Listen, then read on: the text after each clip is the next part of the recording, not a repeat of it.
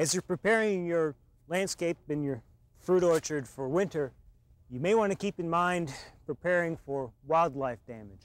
There are three pests that might give you problems during the winter. First of these is mice, and rabbits, and deer. Now mice, one of the best ways of controlling them is during the growing season, keeping all the weeds, all your grass short so that you, so that you don't provide cover for the mice, for their tunnels, for their dens, and keep them well away from it. Also, if you're using mulch around your trees, that provides many benefits, but also sometimes can provide a good, safe home for mice.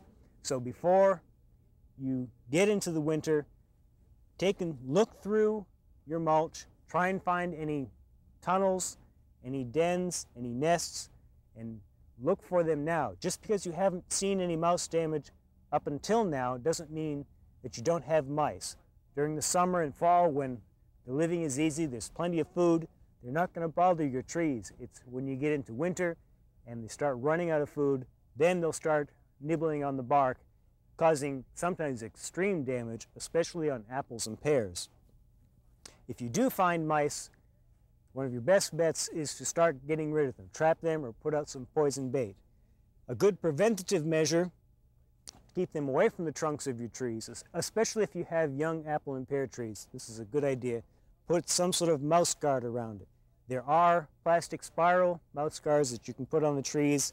You don't need to go to that. You can use just galvanized half-inch mesh hardware cloth, form it in a, into a cylinder, make certain that it goes down into the ground so the mice can't get underneath it and get to the bark. Leave plenty of room for growth so that you don't have to remove this every year to make it bigger. And definitely don't wrap the trunk with hardware cloth. Now the height, you don't need it this high for mice, but this will serve a dual purpose. If you, if you can keep it 24 inches tall, this will also keep out rabbits, which is one of your other major pests that can cause problems in the winter. Now, individual trees you can wrap like this. Larger areas you can fence off with chicken poultry netting on stakes. Rabbits generally don't go underneath fence as long as you can keep it tight to the ground but larger areas you can use the fence on. Also some repellents. Thiram works well on rabbits. There are a few others that are labeled that work well. The third pest, which can be very damaging, especially in trees, is deer. You can see some leaves that have been nibbled on here. Even worse is the young twig here that's been damaged. Another type of damage, besides feeding damage, is caused by the buck during the fall. And that's, he rubs up his antlers against the trees. In this case, in this little pear tree, he's rubbed off the bark completely around the tree. So this top part's totally disconnected from the roots. We've got two options in trying to save this tree. One of which is to cut it off right down where the lowest portion of the damage is, then take a sprout that comes from that and retrain a tree. Our graft union's well down here, so we can still keep the variety. Another option is to wait for a, a sprout to come out from below and then graft it, in-arch graft it into the top. This being such a small tree that probably isn't worthwhile, but on a larger tree with more years invested, it definitely would be an option. Now, to prevent deer damage in a home orchard, in our situation, our best bet would be to put up an electric fence all around our garden to exclude the deer entirely. On a smaller scale, less expensive option would be to use some sort of soap, Camay, Cashmere Bouquet, any sort of smelly, perfumed type of soap. Hang one bar in each tree.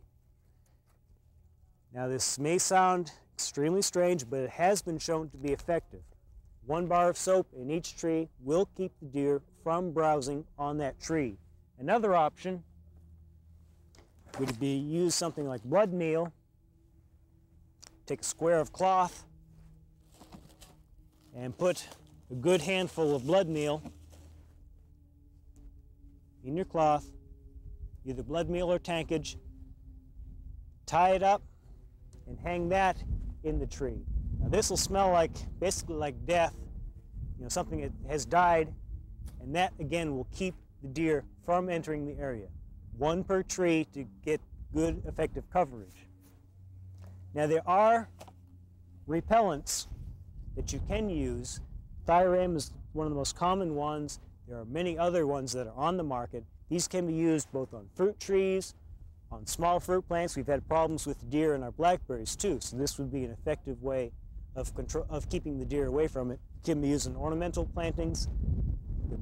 One of the biggest disadvantages of repellents is that they need to be reapplied frequently. So you can't just go out in the fall, spray once, and expect the deer to stay away for the rest of the winter. You'll need to re reapply basically after each rain. Expect to be doing it several times during the course of the winter.